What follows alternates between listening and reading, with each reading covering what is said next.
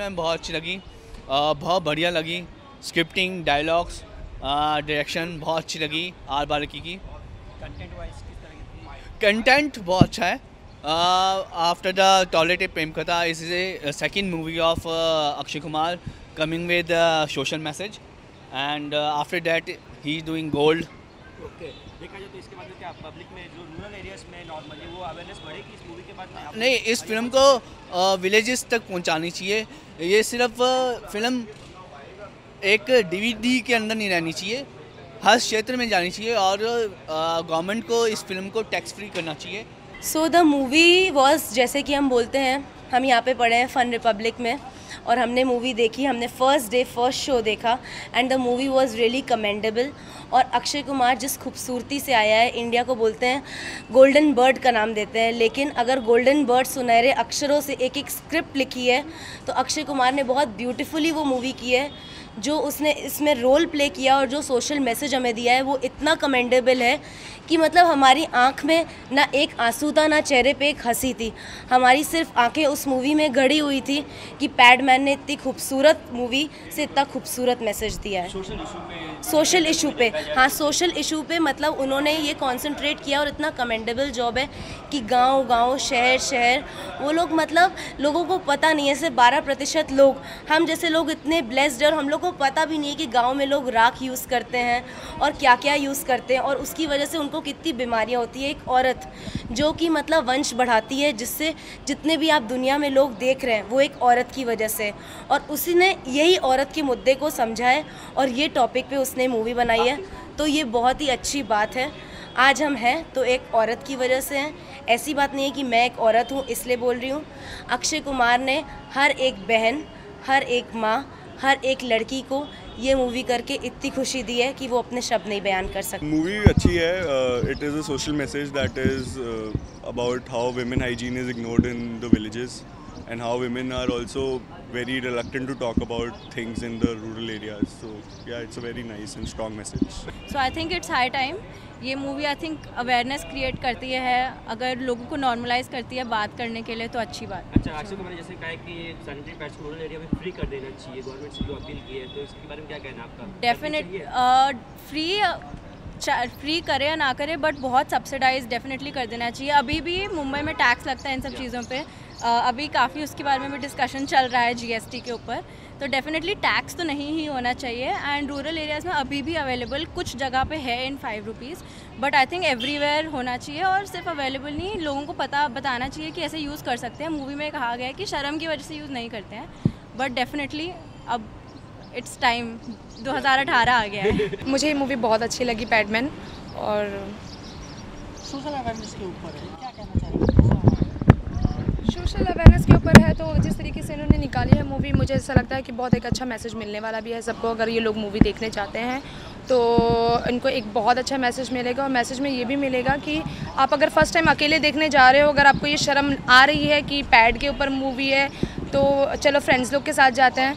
तो ऐसी कोई बात नहीं है आप मूवी पूरी फैमिली के साथ जा सकते हो और बहुत कंफर्टेबल मूवी देख सकते हो आप चाहे बच्चे हो आपके साथ में चाहे आपके साथ में बड़े हो चाहे आपके डैड हो चाहे मॉम हो आप पूरी फैमिली के साथ मूवी बहुत कंफर्टेबली देख सकते हो मूवी एंटरटेनमेंट भी है काफ़ी अच्छी कहीं कहीं कॉमेडी भी है बहुत अच्छा मैसेज भी है। काफ़ी लोगों ने जितने लोगों ने इस मूवी में काम किया है उन्होंने अपना किरदार बहुत अच्छे तरीके से निभाया है। अक्षय कुमार जब भी आते तो एक मुद्दा उठा के जी। है इस बार एक सेंसिटिव टॉपिक से बोलना तो नहीं चाहिए लेकिन सेंसिटिव टॉपिक्स बोलते हैं लोग देखा क्या? क्यों? मुझे ये समझ में नहीं- तो कोई ऐसी टॉपिक नहीं है कोई ऐसा गलत नहीं है मैसेज और अक्षय ने पिछली बार भी टॉयलेट के ऊपर मूवी लेके आई थी।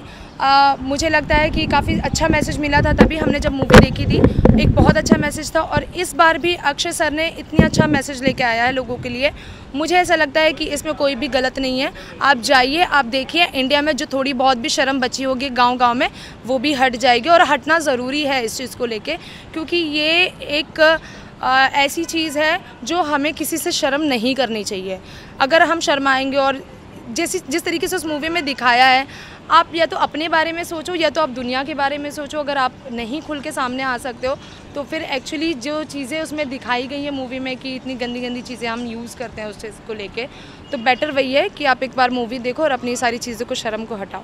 बहुत अच्छी मूवी थी, बहुत शानदार थी, कोई कमी नहीं है मूवी में। बहुत अच्छी मूवी तीनों की बहुत अच्छी है, सबों की एक्टिंग बहुत अच्छी, कोई कमी नहीं है।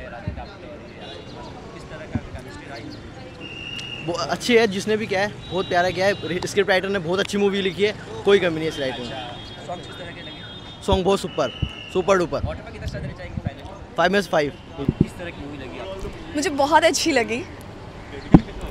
क्या केमिस्ट्री केमिस्ट्री किस तरह की लगी? राधिका हम्म, आप्टे की भी अक्षय कुमार के साथ अच्छी थी और सोनम की भी अच्छी थी। दोनों की अच्छी थी। टॉपिक्स पे उठाया गया हाँ। अवेयरनेस बढ़ेगी। रूरल एरियाज़ क्योंकि काफ़ी वहाँ पे अवेयर होना चाहिए। हाँ एक्चुअली बॉम्बे दिल्ली में तो इट्स नॉर्मल इतना ज़्यादा नहीं है बट यहाँ पे भी है।